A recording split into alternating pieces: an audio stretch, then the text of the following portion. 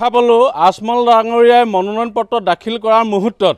তেখেতে অসমীয়া স্বাভিমান গামোচাখনক দলি দলিয়াই দিয়া আমি আমি দেখা দেখা পালোঁ।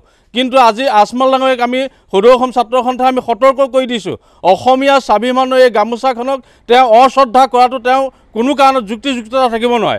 আৰু আমি আজমল ডাঙৰীয়াক সতৰ্ক কৰি দিছোঁ আৰু অসমবাসীৰ ওচৰত তেখেতক আঁঠুলৈ ক্ষমা প্ৰাৰ্থনা বিচাৰিবৰ কাৰণে আমি দাবী জনাইছোঁ। দেখা পালোঁ আজমল ডাঙৰীয়াই মনোনয়ন পত্ৰ দাখিল কৰাৰ মুহূৰ্তত তেখেতে অসমীয়া স্বাভিমান গামোচাখনক দলি দলিয়াই দিয়া আমি আমি দেখা দেখা পালোঁ কিন্তু আজি আজমল ডাঙৰীয়াক আমি সদৌ অসম ছাত্ৰ সন্থাই আমি সতৰ্ক কৰি দিছোঁ। অসমীয়া স্বাভিমানৰ এই গামোচাখনক তেওঁ অশ্ৰদ্ধা কৰাটো তেওঁ কোনো কাৰণত যুক্তিযুক্ততা থাকিব নোৱাৰে।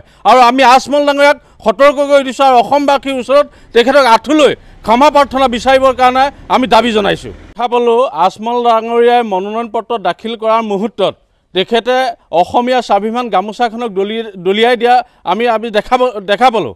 কিন্তু আজি আজমল ডাঙৰীয়াক আমি সদৌ অসম ছাত্ৰ সন্থাই আমি সতৰ্ক কৰি দিছোঁ। অসমীয়া স্বাভিমানৰ এই গামোচাখনক তেওঁ অশ্ৰদ্ধা কৰাটো তেওঁ কোনো কাৰণত যুক্তিযুক্ততা থাকিব নোৱাৰে। আৰু আমি আজমল ডাঙৰীয়াক সতৰ্ক কৰি দিছোঁ আৰু অসমবাসীৰ ওচৰত তেখেতক আঁঠুলৈ ক্ষমা প্ৰাৰ্থনা বিচাৰিবৰ কাৰণে আমি দাবী জনাইছোঁ।